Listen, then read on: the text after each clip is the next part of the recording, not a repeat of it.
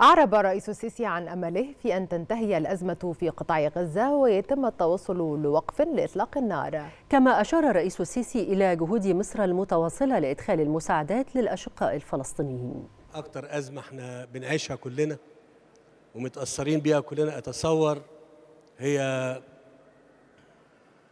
اللي بيحصل في القطاع قطاع غزة والضفة الغربية. وإحنا في مصر لينا موقف موقف محترم إن شاء الله.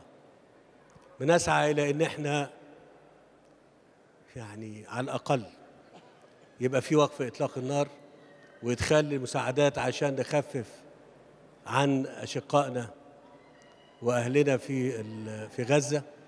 ثم بعد كده يعني يبقى في حل للقضية اللي هي بتتجدد كل كام سنة وتألمنا كلنا.